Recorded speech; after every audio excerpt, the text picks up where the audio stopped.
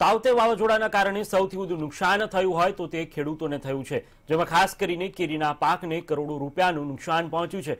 ઉનાળાની ઋતુ વચ્ચે વાવાઝોડું આવતા કેરીના બગીચા ધરાવતા ખેડૂતોમાં મોટી નુકસાની સામે આવી છે.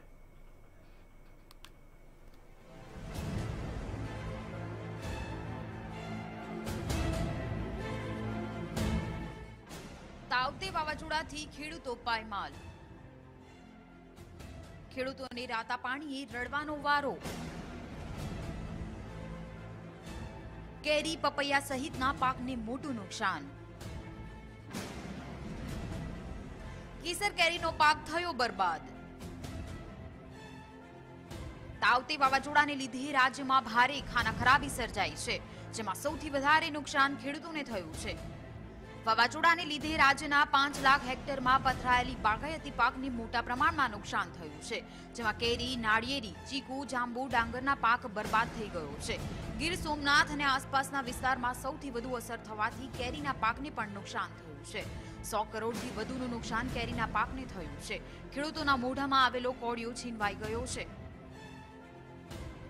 કેસર કેરીનો વડિયો કચ્ચરવાણ તેર હજાર આઠસો હેક્ટરમાં આંબા ઝપેટમાં આવ્યા.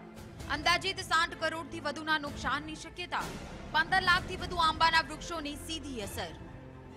વાવાઝોડાને કારણે ભારે પવનને લઈને સૌથી વધુ કેરીના પાકને નુકસાન થયું છે, જેને લઈને ખેડૂતો ચિંતામાં જોવા મળ્યા. સૌરાષ્ટ્રના જુનાગઢ, ગીર સોમનાથ અને અમરેલી જિલ્લામાં મોટા પ્રમાણમાં કેરીના બગીચાઓ આવેલા છે. ભારે પવન સાથે વરસેલા વરસાદને કારણે કેરીના પાકને વ્યાપક નુકસાન થયું છે. અલગ અલગ જગ્યાએ ભારે પવનને લઈને કેરી ઝાડ પરથી ખરી પડી હતી. હાફૂસ અને કેસરનો જે પાછલો ફાલ છે, તેને ભારે નુકસાન થયું છે. ગીર સોમનાથમાં ભારે પવન સાથે વરસેલા વરસાદમાં કેરીનો પાક સંપૂર્ણપણે નાશ થઈ ગયો છે.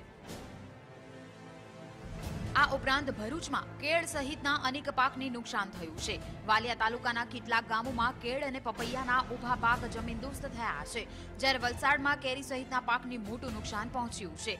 ત્યારે હવે ખેડૂતો સરકાર પાસે સહાયની આશ રાખીને બેઠા છે. Bureau report, Mantavya news.